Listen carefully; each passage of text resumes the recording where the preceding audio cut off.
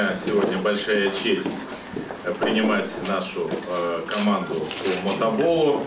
Э, команда была основана так давно, что я еще не родился. И уже тогда э, завоевывала передовые места э, в Советском Союзе.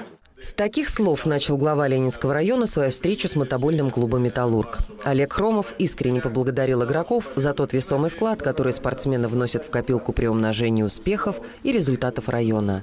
Сезон 2015 года начался с 22-й победы «Металлурга» на Кубке России.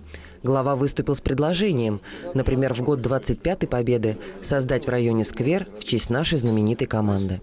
И я думаю, что это будет доброй традицией, хорошим продолжением. В том числе э, жители, когда будут приходить в такие скверы, будут гордиться, что есть такая команда, она находится в городе Видное, что она прославляет не только нашу Московскую область, но и, как мы знаем, э, Центральный федеральный округ, потом и Российскую Федерацию.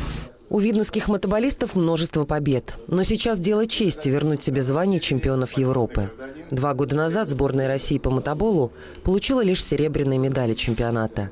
А в связи с отменой европейского первенства в прошлом году россияне до сих пор остаются вторыми. 20 мая этот главный мотобольный турнир стартует в немецком городе Копенхайм, на родине сегодняшних чемпионов. Вырывать победу российским спортсменам будет достаточно тяжело. Я думаю, будет очень непросто будет, я так думаю, я объективно абсолютно говорю. Я понимаю, что сборная России на базе Металлурга, Металлург сейчас э, в хорошей спортивной форме, ребята все, все рвутся в бой, и ребята, главное, понимают, что действительно 70 лет победа, великий праздник, великая победа, и я думаю, что психологически они, по крайней мере, понимают. Традиционно в чемпионате Европы будут принимать участие сборные команды Белоруссии, Литвы, Германии, Франции, Голландии и России, в которой 9 из 10 игроков представляют Видновский клуб «Металлург». Телезрители телеканала «Видное ТВ» первыми будут узнавать о ходе турнира из прямых репортажей нашей съемочной группы. Болеем за Россию, а значит за наш город и район. Елена Бабина, Алексей Иванов, Елена Кошелева. «Видное ТВ».